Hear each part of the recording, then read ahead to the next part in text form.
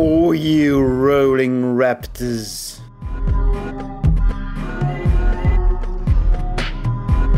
That was my very first ride on this big spine.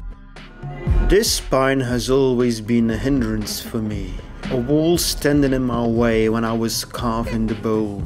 But I recently learned to skate spines and now things are different. Suddenly, that big brutal concrete ridge has become a skateable obstacle.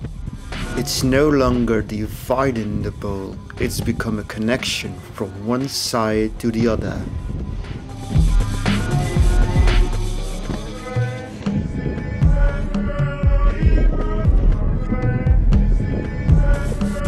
It's big fun, that's what it is.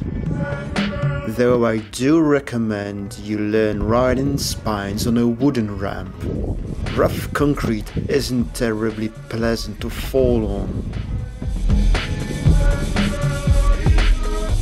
Let's try something else as well. A weird double drop in. In the middle of the bowl there's a concrete island always seen beyond my reach.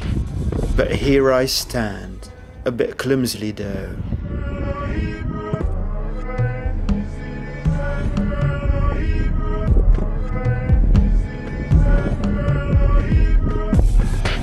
This is a glorious day for this huge bowl finally has opened up to me.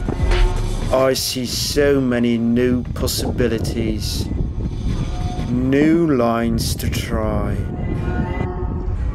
Concrete curves bring joy into the life of a rollerblader. Thanks for watching.